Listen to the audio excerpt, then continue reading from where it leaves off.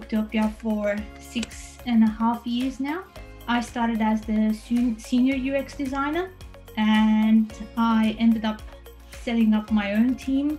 I'm the marketing and fundraising manager. I do want to understand all the principles behind UX. We've got three massive projects on at my workplace. You don't have to be a great designer or have a whole bunch of technical skills to be a great UX person. Anything from print, digital, animation, but the one thing that I don't have is UX.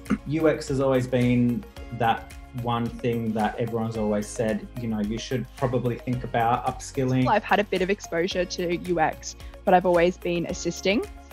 And I guess the opportunity here for me is to really find my confidence and be able to lead a project. And having the marketing research side, you will find that quite a lot overlaps with the UX research. I'm a freelance marketer for a few different smaller companies with um, web design. It's like starting to become a bit more of a demand. The very last presentation that we're going to do is going to be a great chance for you and Liz to practice that whole presentation side of things. In my previous role, I headed up um, in financial services in a project space, and for me, coming and doing this um, gives me the ability to understand a little bit more some of the challenges. I'm a dancer, uh, a commercial dancer, and a choreographer.